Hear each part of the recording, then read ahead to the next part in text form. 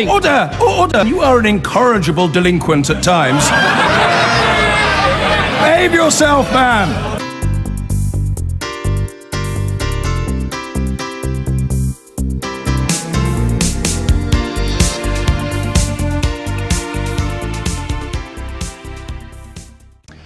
Good evening. Jeremy Corbyn has addressed the Labour conference for the first time as leader, offering a new kind of politics to create a more caring society.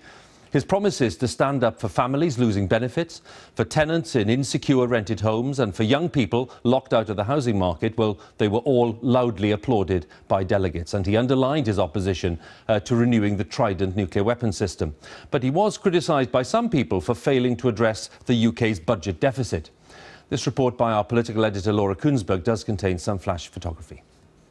This is a long way from a town hall meeting. They queued to see him, who was an outsider in his party, but now he's their star. And he wants us to think he's just like you. Jeremy Corbyn.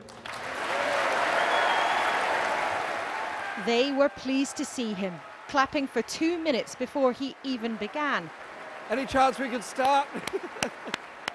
and started by laughing off what he sees as the wilder attacks from the press. Jeremy Corbyn welcomed the prospect of an asteroid wiping out humanity. Asteroids are pretty controversial, and it's not the kind of policy I'd want this party to adopt. His first serious point he beat others to the leader's job convincingly, and things are going to change. I've been given a huge mandate by 59% of the electorate who supported my campaign. I believe it's a mandate for change. Let me be clear. Under my leadership, Labour will be challenging austerity. It will be unapologetic about reforming our economy. He's determined to cut his own figure still wanting to scrap nuclear weapons, even though the party said no to a debate. But there's one thing I want to make my own position on absolutely clear, and I believe I have a mandate from my election on it. I don't believe that £100 billion spent on a new generation of nuclear weapons, taking up a quarter of our defence budget, is the right way forward. I believe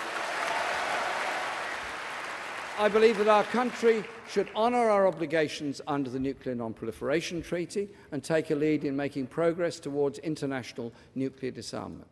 And he'd oppose any plan for airstrikes in Syria, even though many of his colleagues might not. We all want all of the atrocities to stop and the Syrian people be able to return home and be free to determine their own destiny.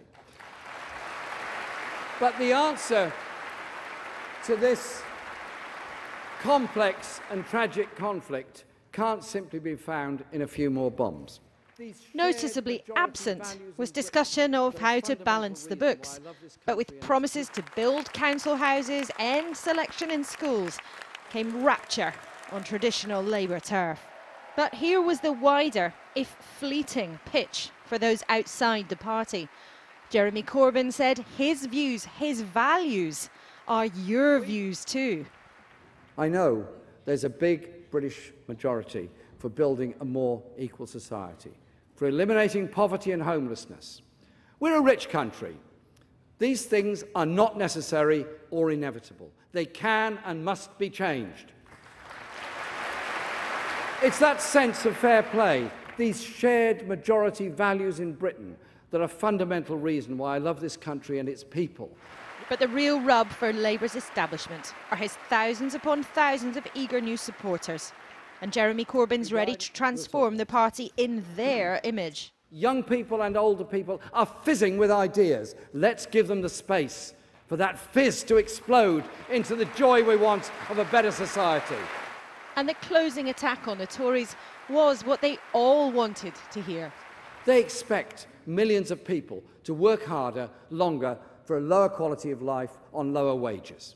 Well, they're not having it. Our Labour Party says no. The British people never have to take what they're given. There were huge roars of applause from Labour's growing crowds. What they didn't know was that nostalgic message had been written long ago for former Labour leaders. There was such a thirst here for him to excel. Many members have waited to hear this kind of speech for years. But it was one of a protester, an activist, Corbyn the campaigner, But it was also a chance to tell the rest of the public what he would do. He's going to take them on. All the people that come into politics because they want to make a lot of money for themselves, forget about it. Yeah, it was inspirational. Um, I thought it was one of the best speeches I've ever heard at a Labour Party conference, certainly for many, many years. You seem slightly less than enthusiastic. No, it was a good speech and it was absolutely clear. But um, if anybody thinks the work is over, they're mistaken. The work has only just begun. A different leader, a different kind of speech. His more caring politics was loved in this hall. But there is nothing inevitable about a wider public embrace. Laura Kuenssberg, BBC News, Brighton. Well, the enthusiastic response uh, in the hall was very clear. But uh, what about views in those parliamentary seats which Labour failed to regain in the election in May this year? Our correspondent Sian Lloyd has been to the key target constituency of North Warwickshire to see how voters there responded to Mr Corbyn's speech. A former mining town in the heart of the Midlands, Bedworth has been a Labour stronghold in the past. It has a Conservative MP now, but is a marginal seat, one Labour want to win back. Just because I've become the leader of this party, I'm not going to stop. To do that, Jeremy Corbyn needs to convince voters here, like Mick Brennan, who tuned in to hear what he had to say. Does not everyone want to care, more care in society? The thing is, it's people have got to pay for it at the end of the day, and this is what I don't think he gets. I think he thinks he can just like magic it out of nowhere. But his style of politics found favour with some. It's a breath of fresh air in, in politics at the moment. Why do you say that? Well, he seems straightforward. You ask him a question, he answers it. Uh, he's what I would call proper Labour. There was a list of promises for people to digest, including eliminating poverty and homelessness and solving the housing crisis. Renationalise the railways? Uh, yeah, I think it's a good idea because uh, people aren't out there to make profits so they can make it cheaper and invest more into the service to try and make the service more accessible, better. And he's also saying that more money needs to be spent on public infrastructure in this country. Where is the money going to come from? This is the point, you know. Is it going to be more taxes again? Um, people can't afford that at the moment. They're serving up supper in the fish and chip shop. This customer had listened to Jeremy Corbyn's speech earlier. I felt he was very personable and he was really refreshing. Um, however, it's still a big question of how he's going to pay for it. That's the, that's the question. Jeremy Corbyn's speech went down well with Labour delegates, but the public's appetite for his policies has yet to be tested. Sian Lloyd, BBC News, Bedworth. But let's go back to Brighton and the Labour conference, and Laura is there for us, Laura Kuenssberg. Laura, what in your view did Mr Corbyn set out to achieve today, and did he get there?